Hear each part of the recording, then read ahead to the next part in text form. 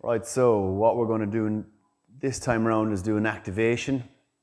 So it's just a sequence of exercises that um, slightly different from the stuff that we do on Movement Rev normally, um, and suitable for anyone who wants to go out for a run uh, straight from their house and just know that their body is warmed up a little bit.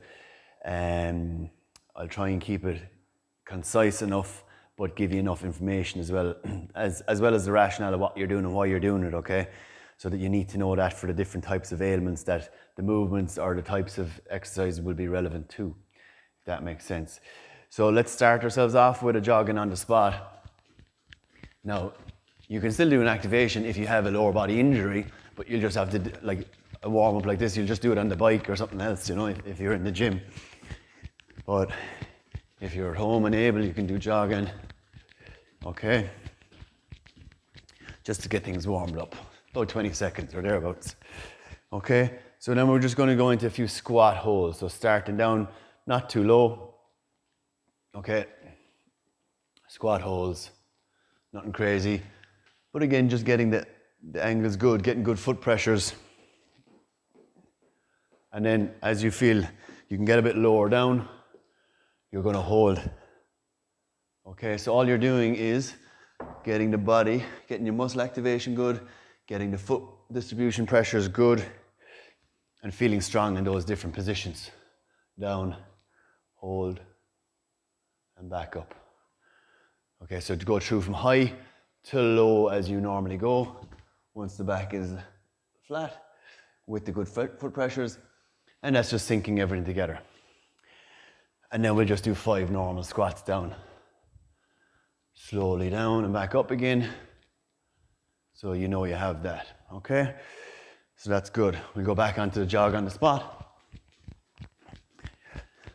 And then we'll progress onto our lunge, our split squat hold, okay? So lunge hold here. Now you can do these statically, just like this, so hold for about five seconds into the position, good foot pressures again. But there's also nothing wrong with holding the position and challenging the balance or the core by doing a funny wave. Is that all right? Back on the other side, A couple of movements either side, side to side. And you're just challenging that postural sway because if you're running, the legs are on the ground and the upper body is doing something different. Right? So running this way, or side bending this way if you're reaching for a ball over the air in a pitch or something like that. So again, just five reps each side. Don't be too pedantic about the position. You can vary the height from high to middle to low, but you can see I'm on the ball of that forefoot as well. It's you know a bit easier if the heel is on the floor, but if you're on the ball of the feet, it's a bit more challenging for all the muscles in that leg. Okay. So this will be the last of them. So that's that split squat, hold in a position with the upper body movement, okay? Pretty handy. And you feel a nice little bit of residual fire up or activation or a burny, little bit of mild burn if you want to call it that. Then we're going to go to the front core, okay? And this activation sequence is just one that I put together. You, you can mix it up any way you like. You don't have to do it. But this is for the front core now, right? So we've done the legs there to some, some extent for, on a low level. Now we're going to do a slow mountain climber. So what are we doing here? The lower tummy is nice and solid. Okay, we're not letting ourselves drop down like that and do it this position. We want to make sure that tuck the hips under, give a bit of a squeeze in the glutes, and you're into your slow mountain climbers. Okay, and we'll do a little bit of rotation on that one as well right? Just bring a little bit of rotation into the equation there too. So, so we're working that front system, the arms, chest is all getting activated. Okay, and we want to get our breathing patterns nice and controlled during those flows as well. So we'll just do one more round of that. And you can do whatever position you want. Okay, out to the side, knee up to the elbow, right? Or across, reaching across side to side. Whatever way you want to do it. Okay. So that just activates the front core. Then what we'll do is grab your mini bands and just step into those and we'll activate the lateral hips, okay? So you can go bends at the knees or bends at the feet. So it's one that we just slightly modified a bit. Okay, so you're gonna go side monster walks or crab walks, keeping the feet in line. Right, upper body stays dead straight. So you're not seeing this kind of a tick-tock movement up top.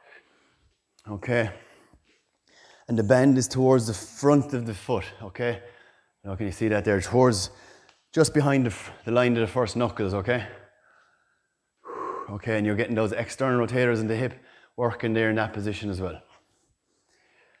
And then by all means, that's just purely side to side version of it. Then do a zigzag step. Okay, try and control that trailing leg just at that tempo, okay? A lot of work going on in the deep hips, deep hip muscles. And the most important thing there is that if you're feeling tired, don't overarch, you know, because you want to keep that neutral pelvic position then as well, or close to it, relatively speaking. Okay, so that's some mini band work. And then on this, for the mini bands then as well, we're going to do a little bit of hip flexor work, okay? So hip flexor run technique. Okay, so front, front on your opposite hand, opposite knee. Control, stay strong, back down, back down, okay? Opposite hand, opposite knee. Nice and solid. And the whole time there, you're trying to keep a little bit of a forward lean, oops, as well, okay? So keep that little bit of a forward lean Definitely don't want your back here. That's going to indicate that hip flexor is weaker. If you're getting ready for sprinting, weight on that right foot in this instance, right? Weight on the left foot. Leaning forward. You see my forward lean, okay? So you're activating hip flexor, challenge the balance, challenges the side core. Lovely little exercise. And that's what we're doing there. Now, so we're going to go onto the side plank now as well. So this is just a, a nice fire up that we like to do. So onto the, you can either go on the side of the knee or the side of the leg, okay? So we'll go elbow to knee for four repetitions. Elbow to knee. Drop yourself down. The next one is our hip thrust. Up you come. And you're gonna go one, two, three, four, okay? So these are all bread and butter movements that we do in our movement rev classes all the time, three times a week. Next one then is uh, one side of running, one, two, three, four, and lower down. And the last one then is arm and leg out in the front, out behind and hold, out in front and hold, out behind and hold, okay?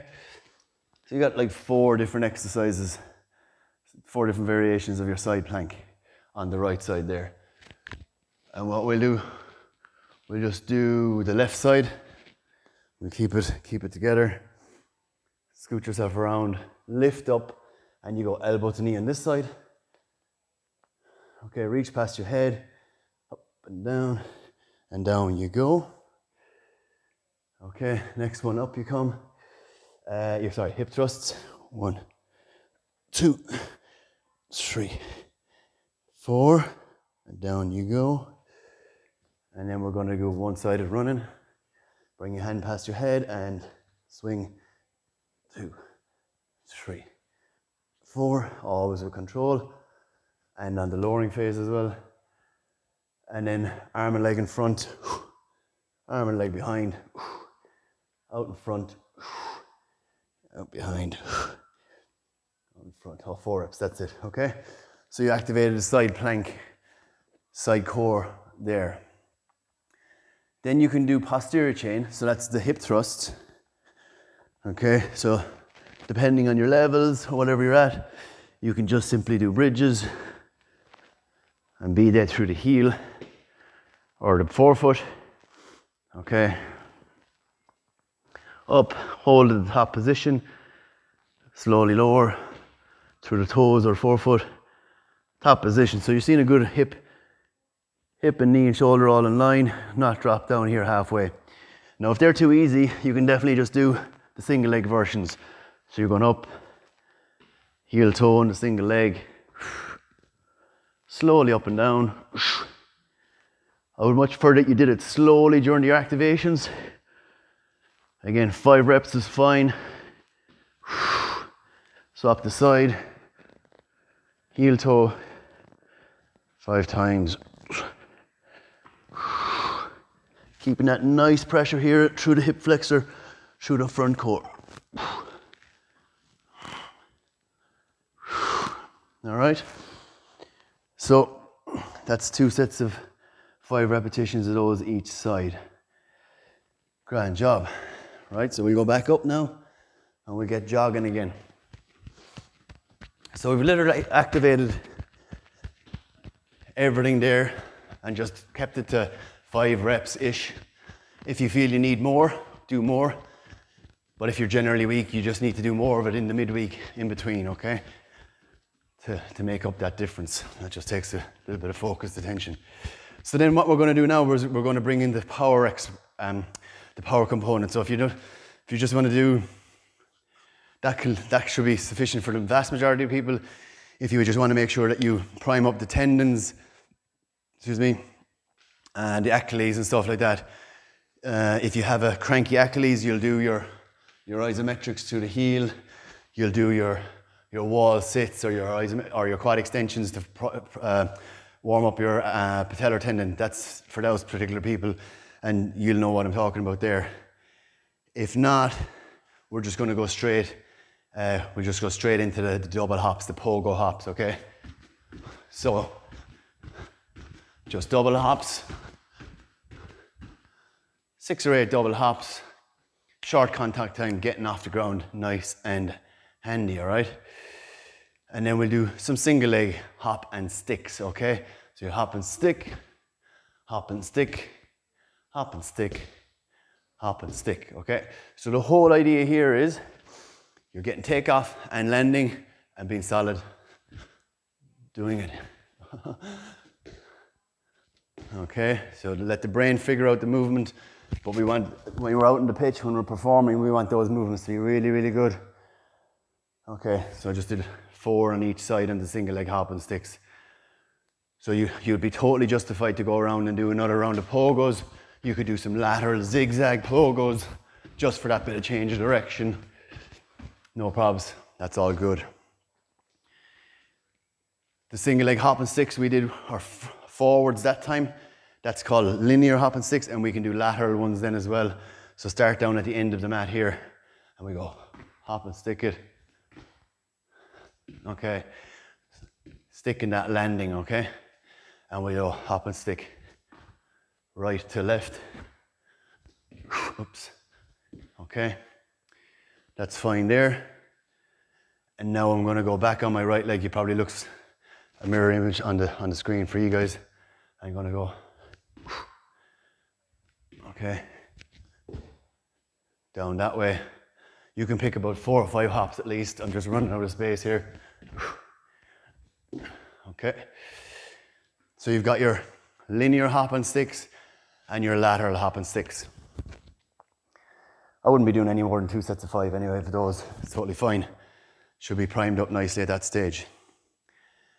And then the last bit of a thing before we go out onto the pitch proper is the shuffle stick, all right? So you're gonna accelerate, plant, come back, okay? Accelerate, plant, and come back. So it's all about being stable. You just accelerate, plant, stable. Okay, you can even hop into it a little bit if you want. Sticking into that landing, really nice and solid. Okay, and there's nothing wrong with doing that to the side in as well, okay? So you're just running from side to side, run, stick, okay?